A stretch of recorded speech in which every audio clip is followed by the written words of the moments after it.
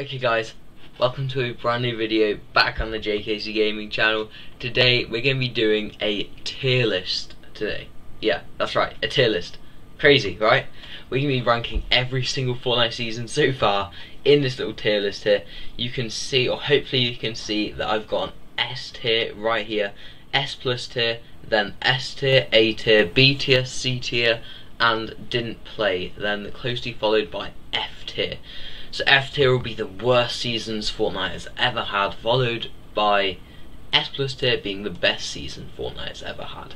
This should be really fun, so make sure you drop a like, subscribe to the channel, as well as use code JKC in the Fortnite item shop to directly support me in game. Let's get right into it. So straight off the bat, let's fill in the didn't play column down here. So I actually started playing during chapter one, season five. So we're gonna fill in. We're gonna fill in chapter one, season one, season two, season 3 and season 4 right here. These are the seasons I didn't participate in. Okay, let's go in order. So we got chapter 1, season 5. Now this was the first season I started playing, so this was pretty special for me. But overall, like if I'm thinking about how the season would be, right, it was a very spraying meta. There was a couple really good POIs there. We had Lazy Links, if anyone remembers. We had Paradise Palms. We had the desert area we had rifts added. We also had what, what else did we have? It was a very SMG based meta, so it was very good for beginners. So I feel like if this was a season now, I'm I'm gonna put it in a B tier. Like it was a good season. It was an okay season. I feel like the majority of people really enjoyed it, but I don't think it was up there with the best. Chapter 1, Season 6. Right, this right here was a decent season. It was okay. Like I wouldn't put it anywhere near the top of Fortnite's game. But I put it in a C tier. This was the this was the season we had the cube when it fell into Loot Lake and everything went really bouncy and there was a massive up bit in the Loot Lake area and you could like fly around in it. It was okay, I guess. This is part was cube monsters. Lots of people didn't really like them. It was a decent season. Chapter 1, Season 7. Now, I'm going to put this straight up in the S tier. I really like this season. This season was probably my favourite. One of my favourites. We had the addition of all the ice parts of the map. We had the addition of Polar Peaks, Happy Hamlet, Frosty Flights, and and we also had the addition of Greasy Grove being frozen over, so we had the full-on ice part. Now, I have a lot of good memories of Polar Peaks. Polar Peaks was one of my favourite POIs. It was so cool, the massive castle, and it was also the season they added the Infinity Sword the Infinity Blade. It was insane, this thing. We logged in on the new season, we had this thing that you pulled from the ground that took 10 whole seconds, and when you got it, you were indestructible. Now, lots of people didn't really like it because they thought it was really, really overpowered. And I wasn't really into competitive then, so I was like, man, this is so fun. And that's one of the main reasons why I really enjoyed Chapter 1 Season 7. All of these map changes, they came together, it was great. Right, Chapter 1 Season 8. Now, this wasn't anything special, and for that reason, I'm gonna put it into the C tier. Like we had, we had the addition of the whole jungle biome. It was, it was okay, I guess. Like it was a decent, it was a decent change. We had like uh, all of these different jungle POI type things, and not bad. I feel like it could have had a lot more. We had the treasure chests, which were quite decent. It was it was it was good. It was good. I feel like if if it had been after a, a quieter season, it would have been placing higher.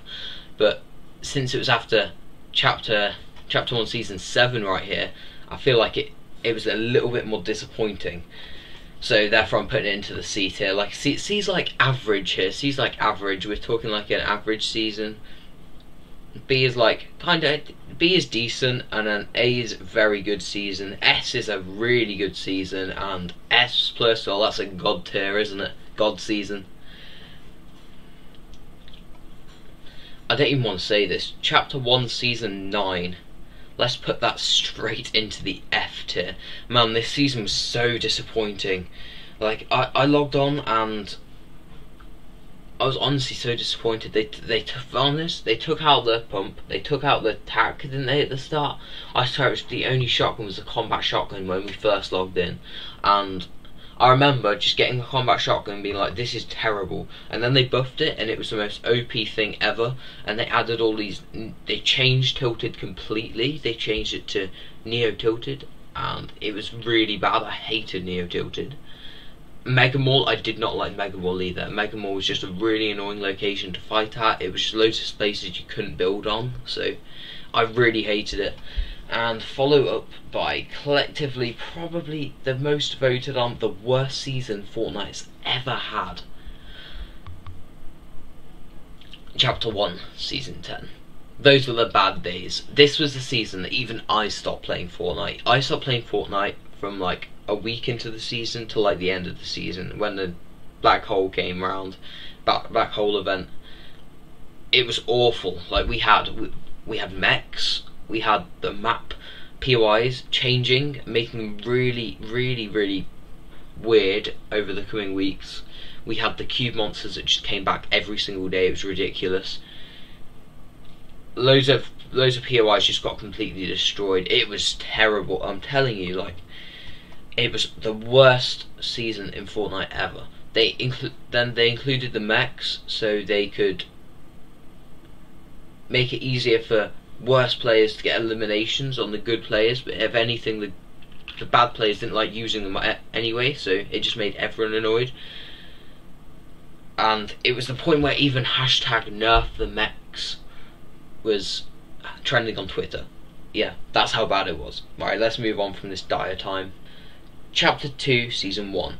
That is a C tier season, and I'll tell you why. So, after it stopped, right, it was it was nice. It was nice to have like a normal season again. After the Black Hole event, after the whole shenanigans of Season 10, it was nice to have a little break. A little break, have a nice little regular game of Fortnite with the loophole, and all the guns had new new wraps and stuff, new new whole reskins. The guns had new reskins, and that made it quite interesting. However, this season, right, as as nice as it was to have a little break, it lasted like six months. A solid six month season. It was actually a little bit depressing. Like the loot pool hardly ever changed. It was squad FNCS as well in competitive Fortnite, and although it wasn't really into competitive, like it was over like in month two, and then we had another. It kept getting delayed. Like not saying it's Fortnite's fault. We had all like COVID stuff, but like it was getting delayed, delayed, delayed over and over again until the season was like six months long, and that made it slightly boring. Chapter two, season two. I'm thinking here. I'm having a think. I'm having a think, and we're putting this straight into the S tier. The S. This was an S tier of a season. This was a golden time during Fortnite, I'm telling you, right? Not really, despite it being out for 12 seasons, not many people were at a level where they were really good at the game. Like, really good. Most people, including me, were really bad. And it was fun because we had we had the additions of the yacht, we had the rig, we had the agency, we had the shark, we had the grotto, all with mythic items, mythic items, mythic NPCs. We had people fight. You had to fight TNTina, you had to fight Brutus, you had to find them, you had to grab the keycard. It had a whole spy theme to it, and it was so cool. I loved it so much. True enough, this season lasted a little bit too long. It was like a maybe a four month season because of COVID again, but man, they were golden times. I got to level 264 or something ridiculous like that, even though I wasn't really that good at the game, and it was so much fun. I'd land at the yacht, I'd find Deadpool, I'd I'd get his key card, I'd kill him, I'd get his I'd get his dual wielding pistols. They were terrible, but we don't talk and then I'd go to the vault, I'd get the key card, I'd get all the loot, it was exciting. You'd have strategy at the spawn fights, you'd have to like know when the vault key was and even camping the vault was a strategy. It was such a golden time in Fortnite. But let's move on from that. Chapter 2, Season 3. Where do I put it though? I'm putting it in the A tier. I really like this season. After the map not changing for like a solid decent amount of time, a solid decent amount of time. So we had a six month season, then we had a four month season, a ten months of pretty much not that much map changes, a couple of outskirts POIs. Right, this was a fun season. We had the rig added, we had the Fortilla, well the rig like changed, we had the Fortilla added, we had the entire map just flooded, so at the start of the season it was fun, it was really fun, I can't lie. All the map changes made it really exciting and I was just happy to play the game. This was actually the season I started getting a lot better at the game. I started trying really hard. I made it to Champions League through a lot of camping. And it was just it just felt new and fresh. And obviously the map changes every week, it flooding down, the water coming down, we got new POIs, like we got coral change, we got the or the Atlantis POI as people called it, and we got like the Aquaman skin, the secret skin. It was it was fun. It was fun. I'll give them that. Chapter two, season four.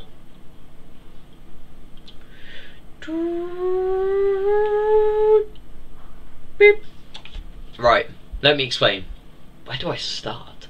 Obviously, lots of people will just say that Fortnite just wanted money, and this was a season of collabs, but Marvel's cool. There's loads of superheroes that were really cool to have added into the game. We had we had Storm, Groot, Iron Man, Jennifer Walters, She-Hulk basically, and a load of others. It was so fun. And we had the Quinjets that come down at the start of the game. We had the we had the what do you call them? The the robots, the Quin robots that came out and started fighting you. We had the Stark rifle, a Stark rifle. Now that is a gun that was beautiful. I love the Stark rifle so much. It just had that precise precision about it when you fired it that it just made it so nice to fire. When you hit shots, it's so satisfying. But at the same time, if you got into a box, you could just hit fire it, and it just went so much faster. It was like, and you just it does so much damage. It was ridiculous, and it was so fun. At the start of the season, I was like, this is a good season. At the start of the season, the start of Chapter 2 Season 4, it felt like a good A tier season. It was like, man, this is a really good season. I like it. We have we have purple pumps and gold pumps that were in the Stark chests and that in the, around the Quinjets, and they were really fun to use. They were like decent. It felt like lots of people had a good shotgun, and it was not that hard to get good loot. But then, probably one of my favourite updates of all time happened. And that, ladies and gentlemen, was Stark Industries. Mm-hmm. It just appeared like a massive circle in the map. It was like the storyline. Tony Stark was making like some something to making some device that would bring Stark Industries to the map, and it was massive. Like the mountain was so cool to get up. You had like zip lines going up it. Obviously, some people didn't like it because you fell off, but they don't know what's good for them. Stark Industries was probably my favourite location of all time. It was so fun to land at, like, it was so fun. Like, you'd land there, and it there was like a couple of big chests that everyone went for, and it was so fun because everyone just went for them chests. And if you got that chest, you'd get like 12 kills off spawn. The location was just really well planned out. You had the little robots guarding it. You had Iron Man with his mythics. That's another thing about this season. You had all of the different mythics, the unique mythics. You had Doom's fireball that you threw over your head. You had Silver Surfer's glider. You had Iron Man's unibeam. Like they were also and Iron Man's repulsor gauntlets. You had so many unique mythic items that just made it so fun to play the game. Chapter 2, Season 5. Alright. Gonna put this in the A tier. I quite like this season. Uh, Stark Industries was removed. Pleasant Park was returned to normal, I believe. Oh yes, we had the Salty Towers added. We had, which was pretty cool. Like it was pretty cool. I have to admit. You had the Colossal Coliseum added with some NPCs. You had lots more NPCs added in this season. And at the same time, you had the sand mechanic, which was a completely new way to travel, which is really good for camping arena points what more can I say? This season it had a decent competitive meta. The the Colossal Coliseum was interesting because you couldn't break it. You couldn't break the outside walls, which I didn't like as much, but it was still an interesting POI. Now, this season right here is probably one of the most controversial in Fortnite history. Chapter 2, Season 6. firstly, what do I think about it? I think it's a B tier season. Hear me out. This was the season they added all of the makeshift and primal weapons. It was the primal season. Lots of people really hated this because it was like, man, it's not Fortnite anymore. What are these primal weapons? There's no first shot accuracy on the primal AR. The primal shotgun's really, really OP. And to be fair, it was. For a while at the start of the season, you just have to jump in someone's box and just go, douche, douche, douche, douche, douche, douche, and they were gone. They were gone. It was crazy. Anyway, that I found that really fun. I'm gonna be honest, I found the mechanics really refreshing in this season. Like at the start, at the start of that season, I absolutely hated them. I hated the fact you had to farm the mechanical parts from the cars, you had to find them with floor loot and bones, but then they increased it, and it, they increased the spawn rate of the bones of the mechanical parts, and it was a lot better the crafting mechanic was first introduced. I got a couple good videos on that out, which was really good. Chapter C season seven, the last full Fortnite season we had, like it it was decent. It was decent. I'm gonna say it was. Apart from the map changes, the one obvious flaw, it was probably one of the, my favourite seasons we've had so far. If it had map changes, I'm gonna probably say it would have been like S tier, but because of that, we're, we're gonna put it in like either A tier or B tier, and I think I'm gonna go with A tier because I just really like the loot pool. The loot pool just felt so nice, and it was a really decent competitive loot pool which we had had for a couple seasons in a row now. It was nice to just, once I'd got better at the game, have a competitive loot pool so I could fight well with it.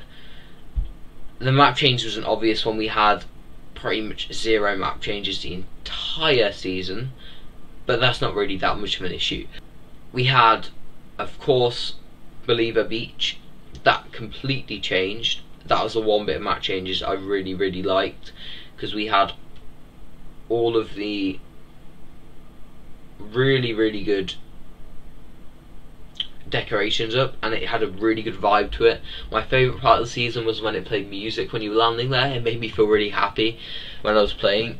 Obviously I can't rank this one properly but if there's going to be a couple couple more map changes, if we're going to have a couple more map changes, a decent enough loot pool, I'm going to say that this could easily because of the really good competitive meta, the decent slipstreams, the cool mechanic of the cubes, it could easily be an S tier. Or if it gets even good and has a really good update, it could even be an S plus tier. But at the moment, I'm still going to say it's an A tier at the moment. A couple more changes throughout the season, S, S or S plus tier, you never know. They're in a really good position at the moment this season. I think they're doing a great job. So guys, that was my rankings for all of the different seasons. I really hope you enjoyed. If you have, drop a like, subscribe to the channel. I really enjoyed this video. If you want to see more ranking videos like this, then make sure you drop a comment down below. Let me know. I'll see you guys next video. I'm JKC Gaming and I am out.